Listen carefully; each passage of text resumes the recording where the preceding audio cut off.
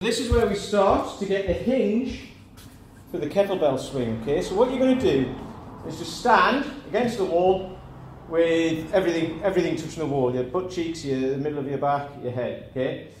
Feet hip width apart, shoulder width apart.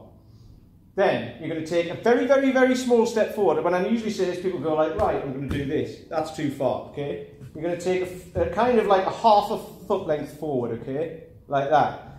What you're going to do, take your hands and put them in the creases of your hips here. Lift fingers, creases of your hips, pull your elbows in. And then push your hips back and touch the wall with your bum. Keeping your back straight. Excellent. Then, take a smaller step forwards. Push back. Touch the wall with your bum, keeping your back straight. Keep your elbows tucked. Okay? Another step forwards. Push back find the wall with your bum. Then the next one, that's pretty much my range. That's as far as I go. So what we're not looking at, like, what we're not looking for is this.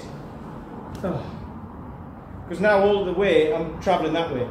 So to get back up, I'm going to have to push myself. You want to be rooted to the floor, so push your feet into the floor, push the floor apart. Okay? Push your knees out as you go. Here. So, there. I'm touching the wall now. However, I'm not leaning against it.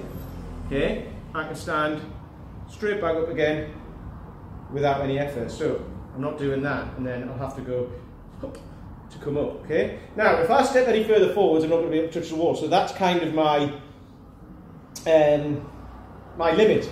But that's cool because if you look for the kettlebell swing, so there's the wall. You want your hips above your knees, below your shoulders, which they are and that's a really good hinge for the swing. So if I had a bell, it would be back there now, I'm here.